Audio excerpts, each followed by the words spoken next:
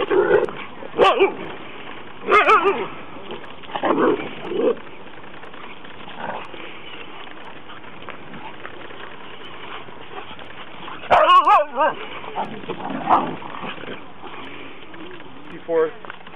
and you go past Mill Plain. Yeah. And you're gonna make a right on, I want to say 18th. It's by indoor soccer park. Oh, okay. And you make it like that's right on 164. Uh huh. You make it right there, and it's right there. It's huge. Is it really? Yeah. Hmm.